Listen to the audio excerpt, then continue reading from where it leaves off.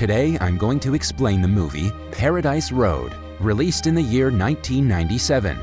At Raffles Hotel in Singapore, a group of soldiers is enjoying a dance with their partners. It is a great stress reliever for them since they've been fighting against Japan in World War II. We are introduced to an Australian nurse, Susan, who is dancing with a man she met at the party. Similarly, a woman in her 20s named Rosemary is with her soldier husband, who she is completely in love with. At a table nearby, a group of American men and women are discussing how the Japanese could never defeat Americans. Right then, a loud explosion is heard outside. A man stops the party and announces that the Japanese soldiers have barged in through the borders. They're heading towards the city and could attack any minute now. All women and children are requested to board a ship that will take them to a safer place, while all men are appointed to the front line. The partners quickly say their goodbyes to each other before the women frantically get on the ship. As the ship sails, the Australian nurses tend to the passengers' needs and socialize with them. Everyone on board is given life jackets to wear for a few hours to ensure their safety. The night passes smoothly, but in the morning, Japanese aircraft launch missiles at the ship. The passengers go into a frenzy trying to save their lives. Many women and children die in the attack, while a handful of them jump into a lifeboat and sail to the nearest island. However, Rosemary, who was separated from her husband, the Australian nurse Susan, and an American lady, Adrienne, are left behind in the water. They swim for an entire day and finally reach the shore on the island of Sumatra. After crossing a muddy jungle, they reach a path and make their way forward. By now, the women are exhausted, but they talk to each other to keep themselves motivated. The first person they see is a Japanese soldier riding a bicycle. He's followed by a queue of such soldiers who cycle past the women. Then, Captain Tanaka from the Japanese force gives them a lift to the nearest town. On their way, Adrienne reminds them of the mistake his men made by attacking a ship full of women and children. Their act was against the Geneva Convention, but the captain announces that Japan never signed it. After the women are dropped in the town, a Japanese sergeant slaps Rosemary for no reason. He then drags them to a larger group of people. It turns out that the women and children who were saved in the lifeboat have also been brought to the island. Susan reunites with her nurse friends and is thankful they're safe. Following that, the soldiers forcefully take them to a prison camp that already holds prisoners from different backgrounds. They're given a shed to share between hundreds of women. The next morning, the prisoners are woken up by soldiers who treat them like cattle. The colonel announces that they're now the prisoners of the Japanese government and have to live according to their rules. A woman tries to cut him off but is beaten up by the sergeant. The soldiers forcefully make them bow down to the Japanese flag while their national anthem plays in the background. A while later, a truck provides the prisoners with leftover meat and vegetables that they cook and ration out to the 400 of them. While socializing, the women realize that they are of all nationalities, including Dutch, English, Irish, Portuguese, Chinese, and Australian. And they also come from many levels of society. There's a slight tension between some English and Dutch women, but everyone decides to live in harmony for as long as they're in the camp. Then we're introduced to a Jewish woman named Verstak. She claims to be a doctor and is relatively close with the Japanese soldiers because of her expertise. When asked about where she's from, she mentions that she was not allowed to socialize with the higher class people like them when she was outside. Following breakfast, they're made to do field work all day long. They have to defecate in a bucket full of water and cannot rest if they're tired. One of their duties includes fetching water for the soldiers to bathe with.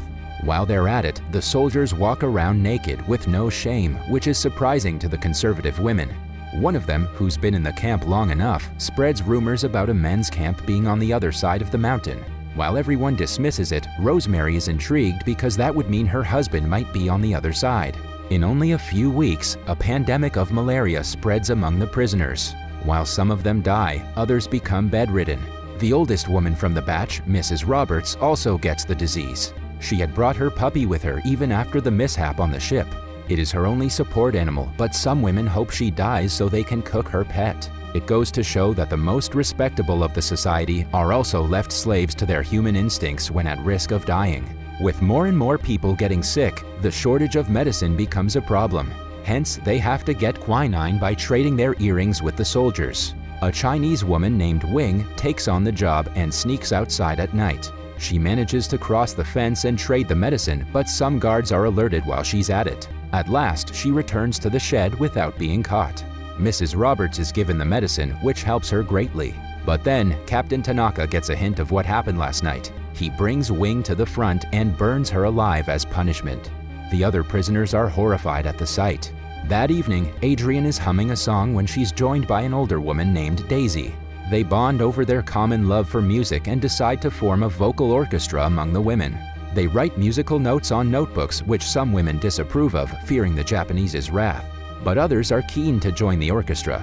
Mrs. Robert, who has now fully recovered, starts nagging about having to live with people from the lower class. Her daughter informs her that Wing died trying to save her life. After the revelation, Mrs. Robert feels guilty and is thankful for a kind soul like Wing. The following morning, Adrienne and Daisy start the first orchestra practice that is interrupted by the soldiers almost immediately. They beat and pull the women for doing something they're not allowed to. But the ladies are in no mood to give up. They form a smaller group and practice in quiet places to go unnoticed by the soldiers. The plan works and they're able to make some considerable progress. One day, the sergeant comes to the shed, shoving every woman on his way. He hands Daisy a list of names. After analyzing it a bit, they come to the conclusion that the women on the list are all young and beautiful. They're put in a vehicle and taken to a mansion occupied by the higher Japanese officials. A translator explains to them that they're being given an opportunity for a better life. If they agree to be the mistresses of the officials, they will be given silk sheets, good food, and their own rooms. While some of the women think the offer is outrageous, others assume it is promising. One of Susan's fellow nurses, Adrienne's best friend Topsy, and some other women take the job. Many more months pass, but the war doesn't end. With passing time, many women die in the camp. Adrienne manages to convince Susan and her friends to join her orchestra. One day, Susan enters Dr. Verstak's cabin and finds her hammering a gold tooth out of a dead body. She claims it's of no use to the owner and can be useful to the women later on. Initially, Susan thinks what the doctor is doing is wrong, but it turns out that Verstak trades gold with Japanese soldiers for medicine. She wants Susan to learn all the tactics so she can keep the prisoners alive in case the doctor is killed one day. That night, Adrienne is outside the shed when a drunk soldier attacks her and tries to assault her. She defends herself efficiently and shoves him to a puddle. But then the other soldiers arrive and blame her for hitting a soldier for no reason. She's kept inside a cage for the night so the convocation can be done the next day. The sun rises and she's taken in front of Captain Tanaka. The soldier has lied to him that he only touched her because she refused to bow to him. When Adrienne tries to give her side of the story, the captain sees it as her insulting the Japanese soldiers. He shoves her to the ground and kicks her repeatedly. Somewhere else, the other women go to the colonel's office and vouch for Adrienne. They beg him to be fair and let her go because it was the soldier's fault. Initially, he shows reluctance, but when they compare him to Captain Tanaka, he decides to help. That night, the orchestra performs its very first show, taking the Japanese soldiers by surprise. Even when the soldiers are ordered to stop them, they're so mesmerized by the music that they hardly can.